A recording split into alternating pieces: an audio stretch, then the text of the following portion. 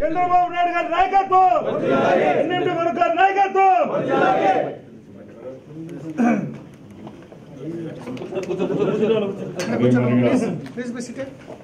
నంద్యాల నుంచి పెద్ద ఎత్తున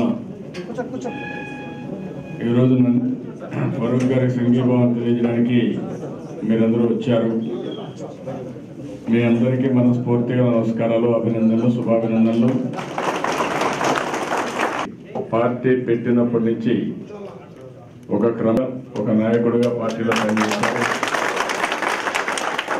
పార్టీ కూడా ఎప్పటికప్పుడు నా గవర్నమెంట్ ఆ తర్వాత ఎన్నికలు కూడా పోటీ చేశాడు. కొన్ని కారణాల వల్ల మనం ఆ రోజు గెలవలేకపోయాం. ఏది ఏమైనా పార్టీని నమ్ముకొని నిరంతరం పార్టీకి పనిచేసిన ఒక క్రమశిక్షణ కలిగిన నాయకుడు.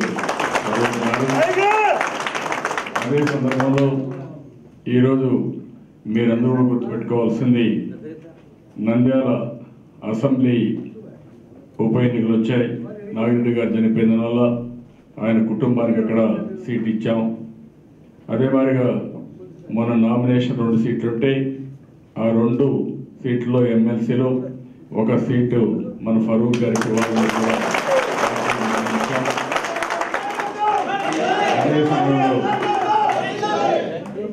సమయంలో మీ అందరికి కూడా పరీక్షలు పెడుతున్నా.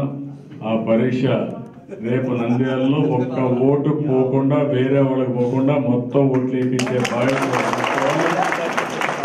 అన్ని అందుకనే అందుకే అమ్మా చెప్తున్నా నేను మొట్టమొదటిసారిగా మీరందరూ వెళ్ళి మంచి మెజారిటీ తేవాలి. తెచ్చిన తర్వాతనే కౌన్సిల్ చైర్మన్ ఆలోచిస్తారు. ముందు ఎమ్మెల్సీ మాత్రం అనౌన్స్ చేసేసాం. కౌన్సిల్ చైర్మన్ మాత్రం అనౌన్స్ చేయడం లేదు. కౌన్సిల్ చైర్మన్ ఉంటుంది? ఇప్పుడు కాదు ఎందుకంటే ఇరవై ఆరు మంది ఉన్నారు.